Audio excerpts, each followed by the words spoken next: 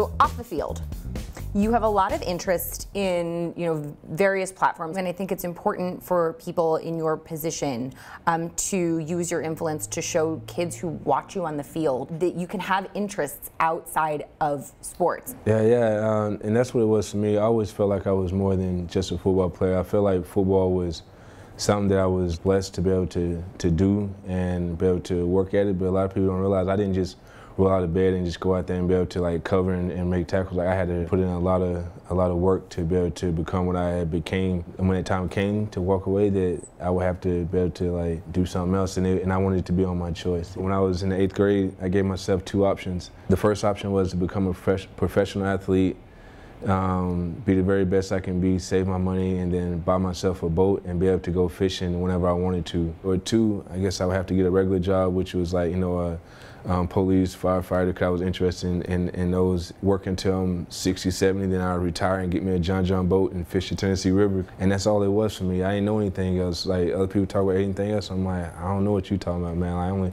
only got two options for me.